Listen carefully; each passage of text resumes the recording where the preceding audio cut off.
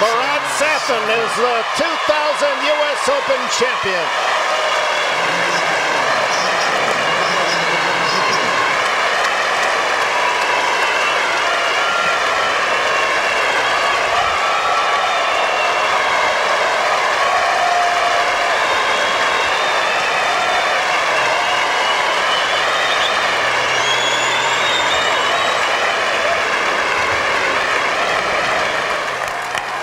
Ladies and gentlemen, the 2000 U.S. Open men's singles champion, Marat Safin.